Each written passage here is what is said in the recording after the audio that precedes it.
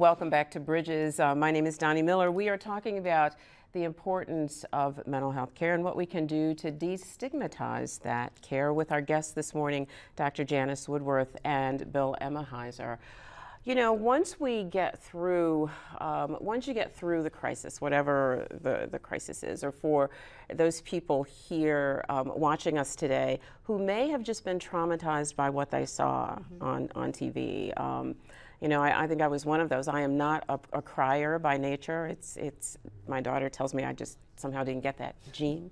Um, but I found as I was watching that show, you know, the tears were starting to flow and you, you really didn't quite know where they came from. I didn't quite know where they came from, but they were very much there. And I'm sure that I was not alone in that. I'm sure there were lots of people who were traumatized just by watching it. Um, thinking about that, you, you, can't begin to imagine what people who are actually going through that mm-hmm. feel or what kids feel who happen to turn on the TV and see it.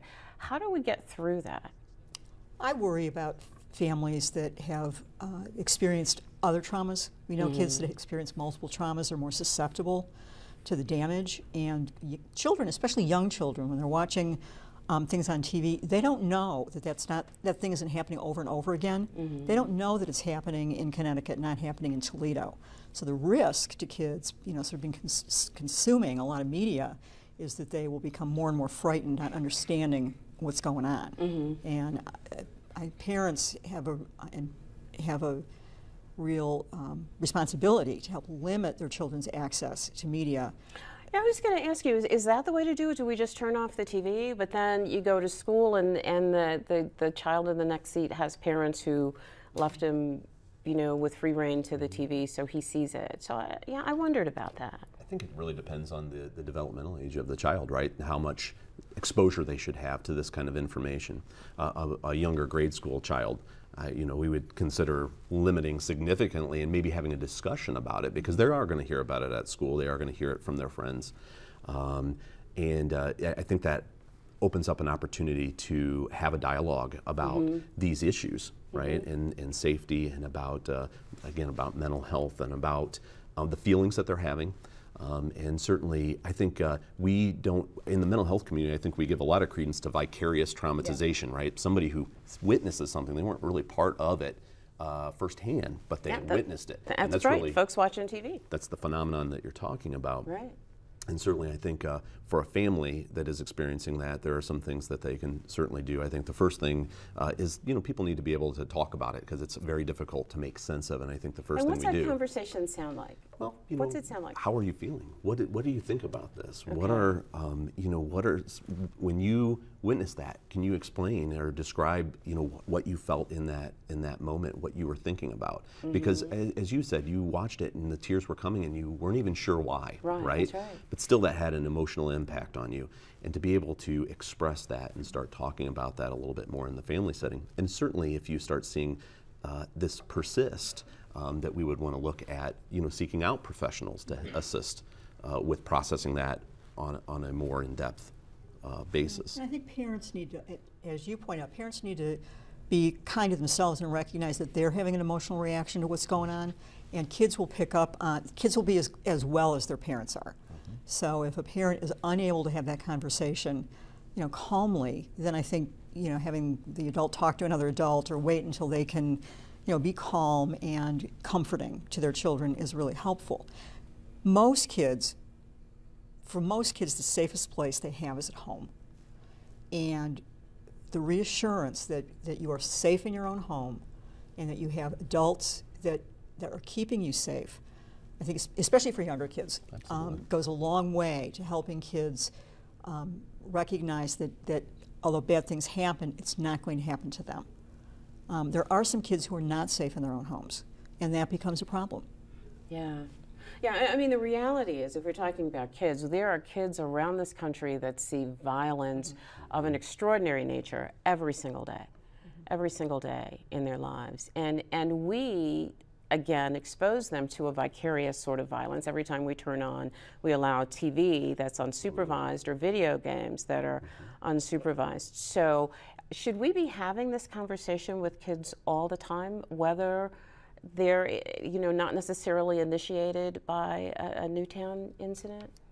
Should we be talking to them about about safety and feeling okay? And Like safety for sure. And I think there's been some incidences in Toledo where there, you know, there's been some shootings. Oh, and there's been, um, and some of those incidences, I'm sure it's true for you too, have touched some of our clients. Even, um, you know, there was a, a child several years ago who um, was hit by a school bus. And, y- y- you know, and kids who are dying in, um, that their friends and, and schoolmates are aware of. So there's a lot of exposure um, kids have, even one on one, and in their community to violence that I think oftentimes goes unaddressed. Absolutely. Yeah, and what happens when we don't address these issues? I mean, if we just sort of say, "Oh, you know, that was that was out there, that was it, that d- wouldn't happen in in our neighborhood." What happens when we don't address it? I it? think there are a lot of different consequences when we don't address, you know, trauma in general.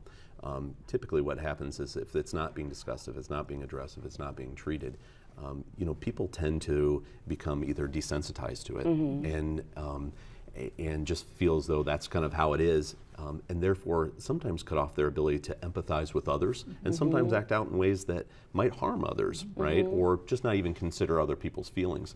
And then the flip side of that, then you have people who it does bother them, they internalize it, and it becomes, you know, they look for escapes. Sometimes drugs, alcohol, um, you know, um, relating to, you know, and finding other outlets to deal with that when we're not focusing it uh, in a treatment uh, and, and through treatment. So we have to be careful uh, when we don't address it because we have at least one of these two, and I'm sure there are other ways that kids could respond, but these are two basic ways that individuals, um, you know, might respond to trauma that's not being addressed. Well, the kids that, that internalize or don't come to the attention because they're not they're not causing behavior problems. It's the kids that are, you know, getting kicked out of class that are causing behavior problems at home than the kids that are brought into treatment. So we're only we're only seeing, a, and this is true across across all mental health issues, a very small percentage of kids that are demonst- that are exhibiting mental health problems. Probably, I think I think nationally it's 10 percent of people with a mental health diagnosis um, are receiving treatment. Wow. Um, and, I th- and there's there's some research that suggests that, that aggression um, in kids is oftentimes a function of emotional distress, D- depression, anxiety, um, and that's and that's not the way it's treated. You know, I'm really glad you brought that up because I was going to ask you if there are things, if there are signs that we should look for, specifically in children. Let's just talk about kids at this moment, but specifically in children, um, that would indicate that they are having some internalization of issues, that they are having some trauma related um, symptoms. Well, oftentimes, um, you know, there are some hallmark uh, symptoms for trauma like nightmares, um, you know, but we also see that manifest itself in uh, symptoms like anxiety in, in situations, uh, social situations, uh, nervousness. Um, sometimes it comes out as acting out behavior. A lot of times it comes out and looks like depression, uh, you know, where the child becomes withdrawn and isolated um, and, you know, less connected to uh, the friends and activities. They don't have interest in uh, in doing activities that they normally would prior to the traumatic event. And the little ones, um, littler ones, I think demonstrate a rea- reaction to trauma a little bit differently. Oftentimes you'll see regression. Kids that have been toilet trained are, are not. Um, they also have trouble sleeping, get, can become very clingy with their parents, um, be afraid to let their parents leave the house. Um, start talking in more a more babyish voice than perhaps they had Really? been. Really? Um, and that those those signs I think are, are are important for parents to attend to. So if I if I see those those signs in my child, is there something I can do at home before I call either of you? Is there something I can do to turn that around before I call either of you? I would say if you're seeing those kinds of symptoms, uh, I'd call. You know, worst case scenario, and here we were talking about stigma, right? And we know we were talking about uh, mental health as a as a as a medical issue, Right. and we know that if you uh, have early detection and prevention of things such as cancer, right? The earlier you catch it, the better the likelihood, the, the prognosis. And it's the same with mental health issues, is that if indeed you have a, a child that is demonstrating some of these behaviors after a traumatic event, really after these behaviors in general that's on a prolonged period of time, then it's best to get them screened early. Because worst case scenario is we say, all right, you know, this is a developmental thing, this is something that we, uh, that we can give uh, information to the parent to, to take care of. And then again, it might require some professional assistance and some professional help.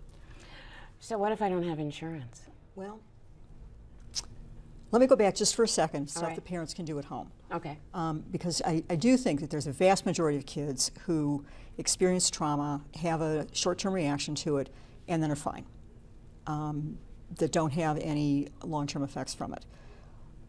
What seems to help some families and some kids when they've experienced a trauma or seen a trauma, something like this, is to help is to encourage them to do something to help. You know, the classes that send cards, you know, to, the, to the parents of the victims, um, plant a, do a memorial, plant a tree. Yeah, you one of the local schools made uh, snowflakes. I saw the other Exactly. day. Yeah. And that can really help kids process um, a traumatic event. For pa- parents that don't have insurance, there's there are resources in the community that can help families, churches, uh, community centers. Um, there are agencies that have sliding scales for mental health for mental health services. The sliding scales are, are um, uh, determine payment based on ability to Right. That's pay. Right. Yeah. And, and you know, and, and again, uh, depending on their financial situation, I mean, we're very fortunate in Lucas County to be one of, I believe, only two counties in um, in the state of Ohio that still have some funding for individuals without insurance. And so, you know, the the the, the board here in Lucas County um, does have some funding for folks, and I'm not going to say it's a lot, but it's Yeah. certainly there is something that's better than you know the other. Yeah, the Lucas County Mental Health Board That's you're talking correct. About. Yeah.